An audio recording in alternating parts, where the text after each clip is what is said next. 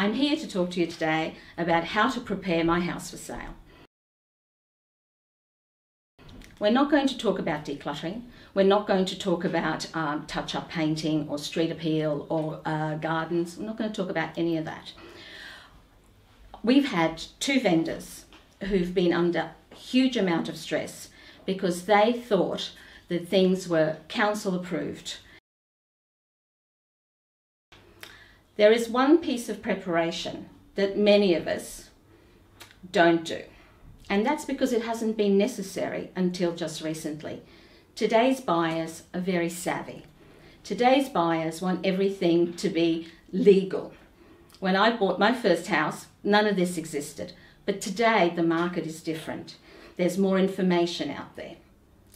So, what happened? What can you do to prepare yourself so that you've got all your I's dotted and your T's crossed?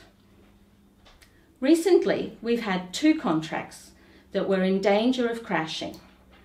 In those contracts, we had a clause that says that the contract was subject to council searches.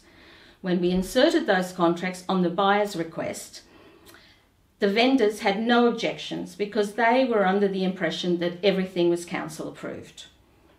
They had employed qualified builders to do their deck and their carport and the swimming pool had been there for 35 years. So they felt safe. Everything was council approved. The buyer's solicitor conducted the searches. The deck came back approved and certified. The carport came back approved and certified. The swimming pool came back that the approvals were submitted to council, however, the final certification wasn't done. How can that be, you ask? Simply, the plans were put in, the person who was contracted to do the pools did all the work, but yet forgot to put in the last piece of paper into the council, the last form, to get it certified. What does that mean? It means the council comes back on site and makes sure that the structure that's been approved to be built has been built to the specifications that it was approved by council.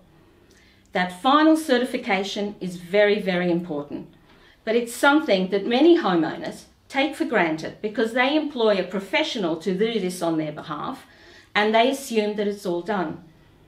However, there's been many, many cases, not only this one recently with the swimming pool that wasn't certified, but also there's been ones of decks that haven't had their final certification.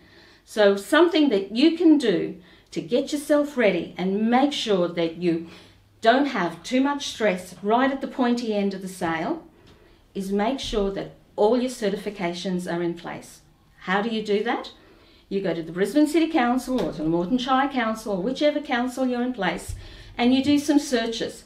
Yes, they cost money. I've recently done a search on a deck for a client, it was about $120. But it's a great investment in the future sale of your home. Because when the buyers find out that the final certification hasn't happened, two things can happen. One, they can pull out of the sale altogether and you could lose thousands and thousands of dollars. Two, they can ask for a reduction. And that reduction can be anything from $10,000 up because to get a final certification is an unknown cost.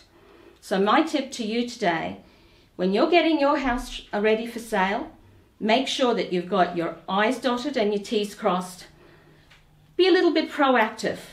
Do all the council searches yourself, and then you know you're safe.